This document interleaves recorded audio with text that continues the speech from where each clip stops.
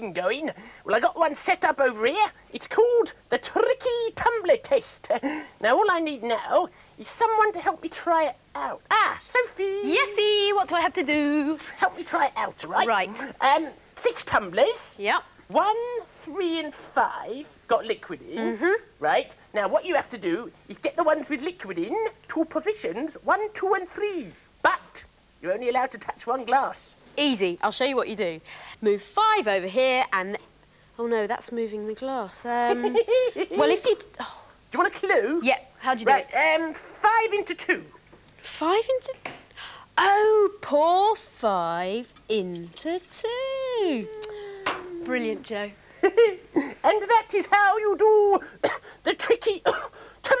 What's all this stuff? Oh my goodness, it's coming from the mystery corner.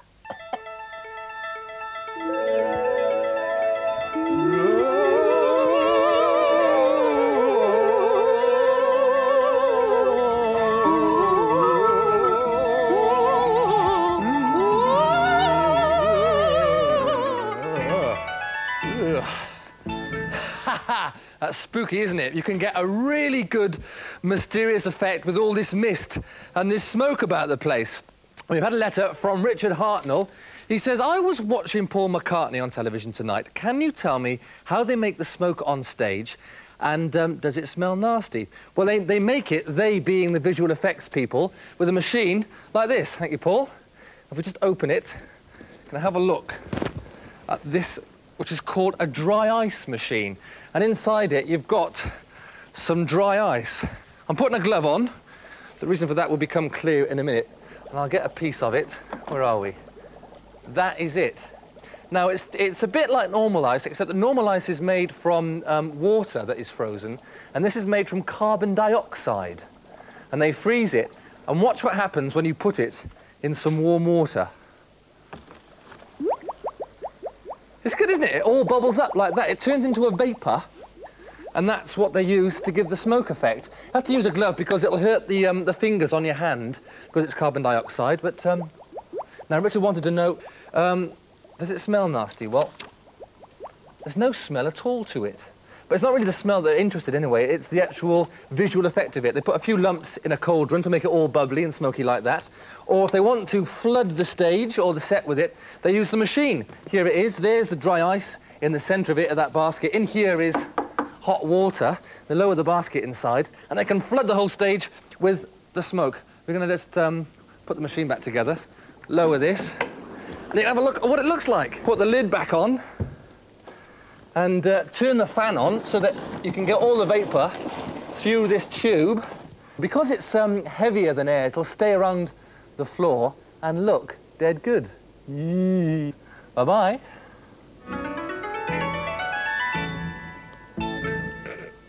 Have a good look at this. It's a letter from a rather mysteriously named Rebecca M. from Steyning.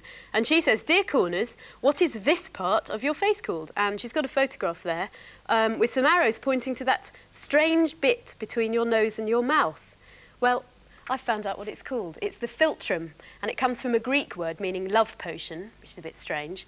And it's just a, tuck or a fold of skin which is even there before you're born. It starts to develop as your nose begins to grow. Well, it helps you smile, and um, if you smile, it completely flattens out.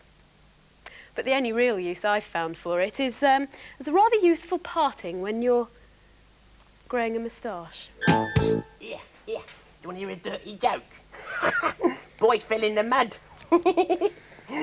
Actually, you lot must be quite a clean lot, judging from this huge pile of letters here, all wanting to know how soap is made.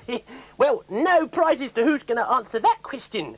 Me old mate, Professor Saltminer. Now, I'll just bung it in my beam machine here. I've got this one here from Katie Bryan, and I'll beam a few more uh, later. Yes, so close it up. Now, um, press button A. There. Now, where is he? Ah, there he is. oh, he looks busy, doesn't he?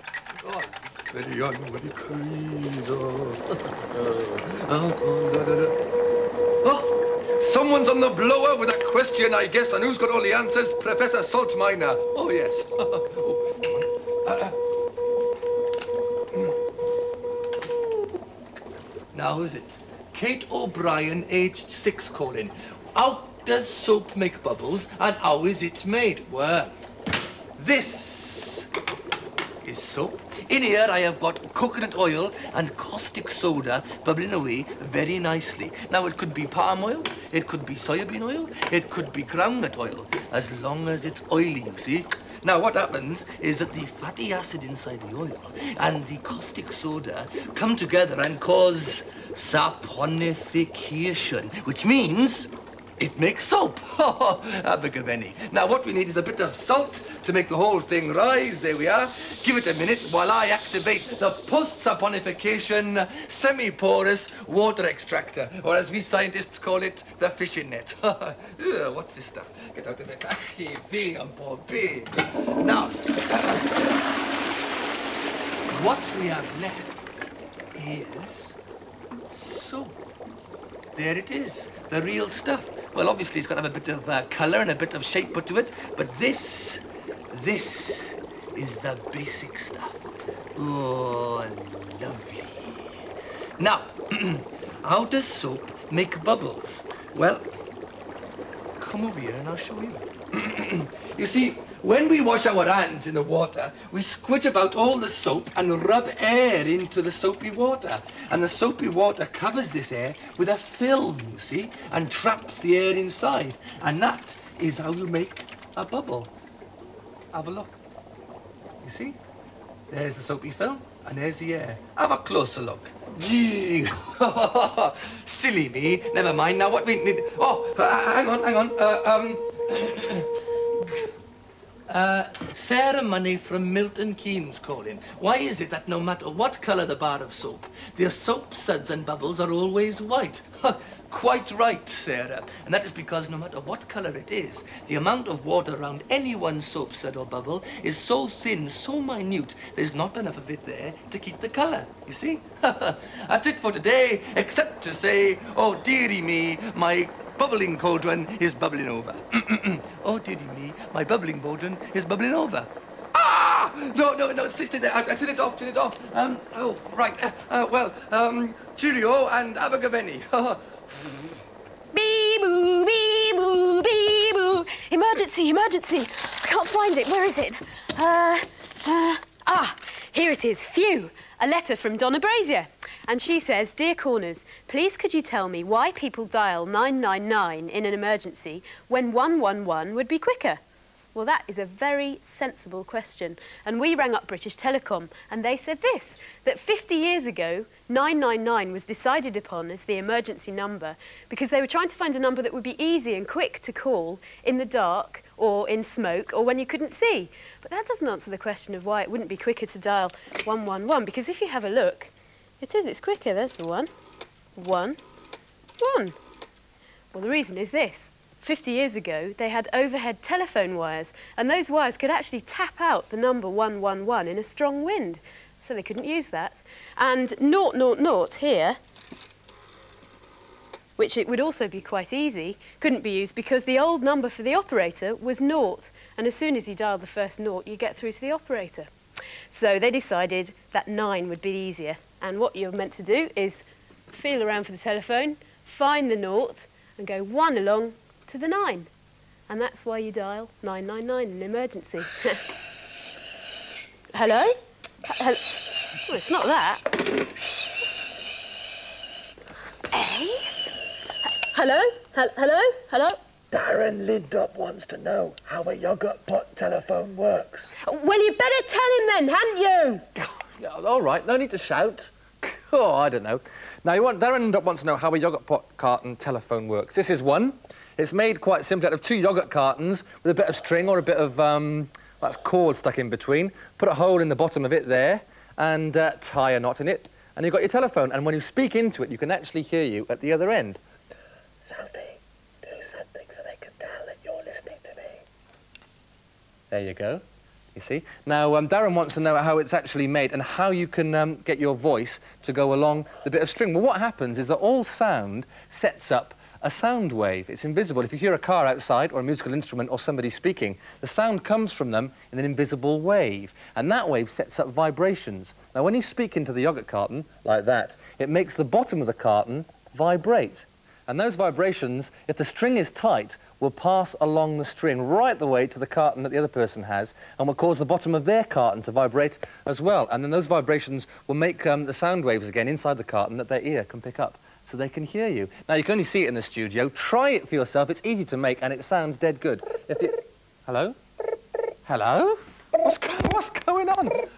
Hang on. Sophie? Sophie? It's me. Oh. Hey, Simon. Um, what do you get if you dial 666? I don't know. What do you get if you dial 666? Uh, three policemen standing on the heads. Over and out. Big good, this, isn't it? I wonder who first thought of this idea. Tell you what, if you have ever invented anything of your own, you'll be interested in next week's programme, because it's all about inventions. So don't miss it. This buggy is just one of the inventions made by Keston Junior School in Old Coulsdon when they were experimenting to see which buggy could go the fastest. Look out for this in a minute. And while we were down at the school, Neil Freeman wanted to know um, how fast is the fastest car in the world? And that's also a question that we've had from Martin Beeson. Well, it is this. It's called the Thrust 2 and it's a jet engine car. And it was actually driven by Richard Noble in the Nevada desert in 1983 and it reached a speed of 633.468 miles an hour, which is pretty fast, you've got to admit. Well, I don't think that um, Keston were quite aiming for speeds like that, but they did come up with some pretty mean buggies. Well, have a look at some more of them. So how do you make your racing buggy then? Well, you take one of these Mhm. and um, push it in here quite hard. It's a bit difficult. Yeah. And um, get another wheel, Yeah. put that in there. Don't need to um, just put one wheel on and slot it through here because you got the pegs and you lift them up. And you're lucky enough to have an assistant here to help you. So those pegs are, are already stuck onto the cardboard, are they? Yeah. Yeah. You get the other one. Mm-hmm. That on. That. Right. Assistant, come and do the pegs. Right. Oh, bit tricky that bit. Perfect. Right. Looks as though it's ready for a run. Yeah.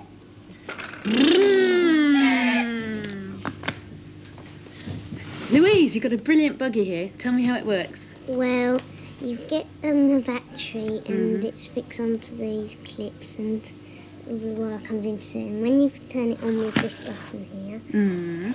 all the lights turn on and um, this is the motor and this bit helps it drive and i if you turn the battery around the wrong way it goes backwards and forwards if you turn it back again.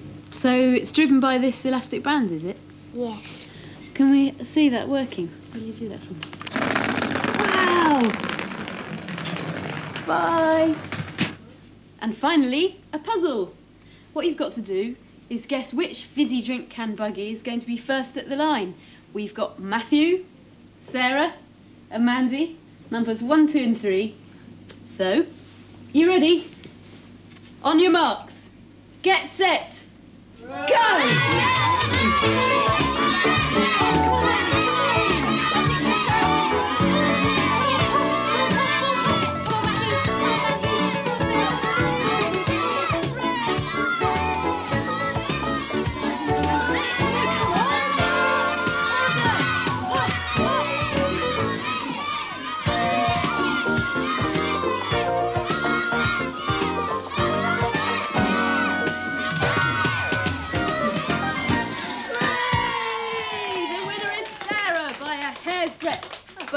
champs there. Come here.